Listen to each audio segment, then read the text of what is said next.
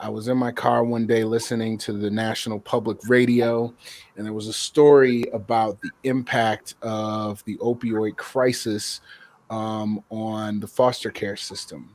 And that because of the rising number of adults uh, who were struggling with addiction to this um, powerful substance, that it was it was putting more kids into that system.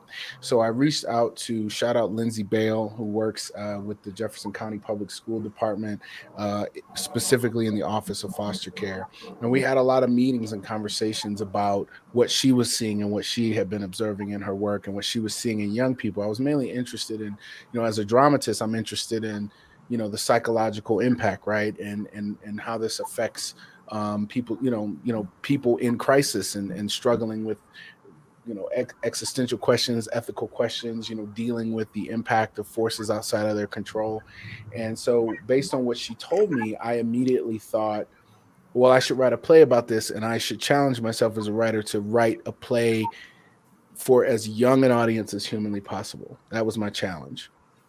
And it was because she told me that that what was happening a lot of times is the kids were were thinking it was their fault and that just really hit me hard.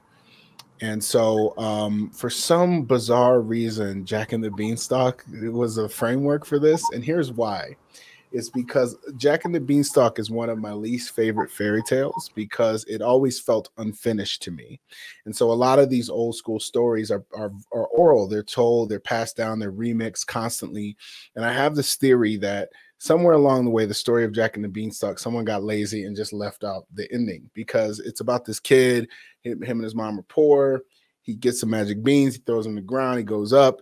He steals a bunch of stuff, a bunch of magical objects, and then he comes down, and the giant comes after him, and they chop the, the thing down. The giant dies, and they just live happily ever after with these magical objects, right?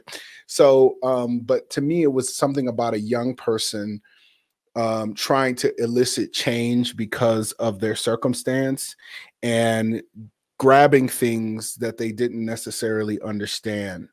And and so i was convinced that I, it just to me that just seemed like a good framework because i also wanted to extend the story of of jack and the beanstalk and give it an actual what i felt like was an actual proper ending. So somewhere in the crock pot of my brain this story jacked happened